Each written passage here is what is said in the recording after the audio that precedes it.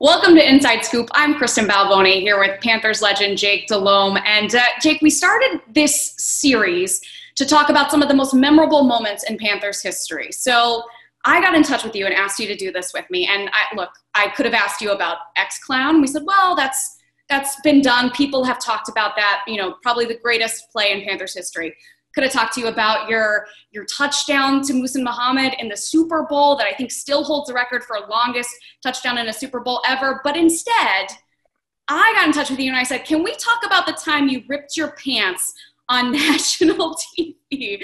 And because you're a good sport, you said yes. Absolutely. I um, you know, I remember those plays. I remember X Clown. I remember the pass to Muhsin Muhammad and, and many other plays where we had success um, during our time, my time in Carolina. But the ripped pants is something that I don't think there's any doubt. I will always remember.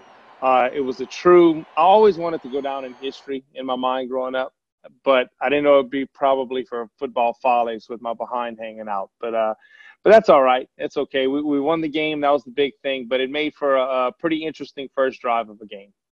Yeah, and and look, you're you're going to go down in history for other things, but I do appreciate, like I said, you being such a, a good sport about this because you know it's not just best plays in Panthers history, although you're right up there too. It's most memorable, and unfortunately for you, you're not the only person who remembers this, right? Panthers fans no, I, I I remember it, and it was uh, the last week of the season, and we're playing in Atlanta. First drive of the game. There's not many fans in Atlanta.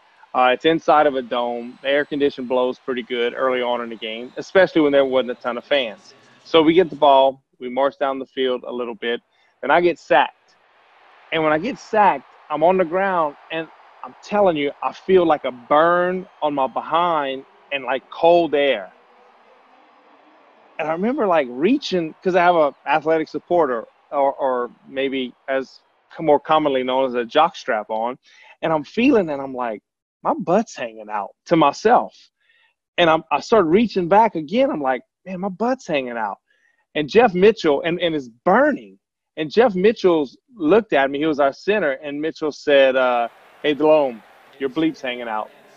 And I did what? He said, Your bleep's hanging out. And I said, You got to be kidding me. So I looked at the ref and I pointed and he goes, What? I said, and I told him, I said, My butt. And he starts giggling and he's laughing. And, I, and I'm looking at him and I'm like, and he said, I can't call a timeout for a, a uniform malfunction. So I call a timeout. So I'm walking to the sideline and Fox pulls his headset off and he's looking at me. What are you doing? It's the first drive of a game. And I said, My blank's hanging out do what? I said, my blank is hanging out. And he looked again, and I turned and I pointed, and he just starts dying laughing. And there's Jackie Miles and Donnie Toner right away. They run up, and there's a Gatorade towel because all the Gatorade towels on the sideline. And they take a towel and they kind of wrap it, like giving me a groin wrap, so to speak, and covering up my behind, and just take white tape. And they're dying laughing. All of them are doing it. I mean, just laughing away and because it's pretty comical. So I'll go back into the huddle, and so I get all ribbed. So I tell everybody to shut up. I got to call a play. We got to go forward. We go right down the field. We score. I throw a touchdown pass to Ricky Proehl on the drive. We come back on the sidelines, and I need to change my pants. I can't play the rest of the game that way. And so, sure enough, um, the equipment managers have backup everything. And instead of running into the locker room to go change in case we get a quick turnaround, I changed right there on the sidelines. They just got about four guys. They hold towels. I pull my pants off. They hurry up, put my my pads in in my pants, and I put them back on. And they had some ladies on the front row with like dollar bills, just oh. kind of laughing and teasing the whole time. So it was pretty darn funny. And uh, there wasn't many tense moments in that game. We beat them pretty good that game.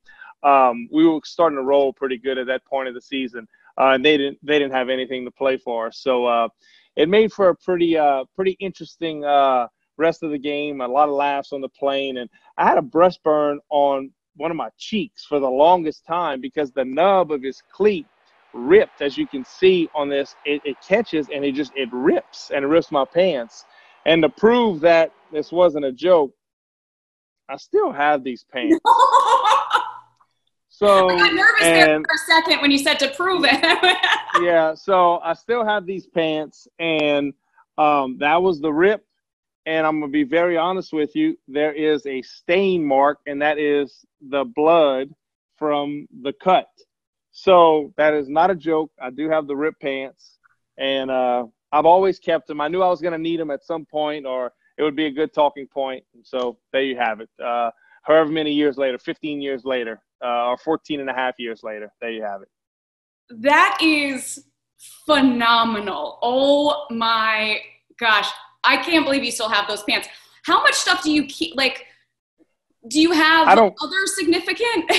no, I have. I have the majority of my game jerseys. I always kept my game jerseys, and we had what uh, um, only like two or three a year. So I, I kept the majority of my game jerseys.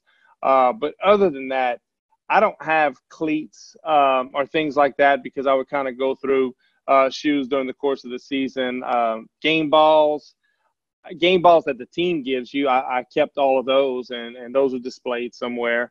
Um, but other than that, no, I uh, I was never really kind of big on keeping certain things uh, uh, like that. But for whatever reason, I kept those pants, uh, and they kind of traveled with us from our time in Carolina. It made made the way to Cleveland, and it came back to Louisiana. So. Well, like I said, you are you are such a good sport to have so much fun uh, with us on this. We could have picked you know all the great moments in your career but we focused on this one. So thank you for for doing this and, and having so much fun with it and for showing us the pants.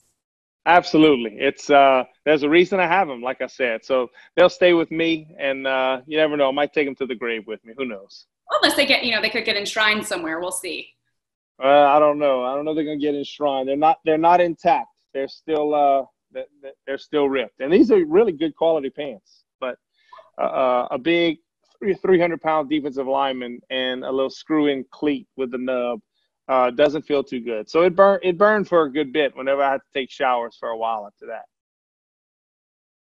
All right. Well, I guess we'll just leave it right there. Uh, Jake, thank you so much. Yeah, sure. No problem. My pleasure.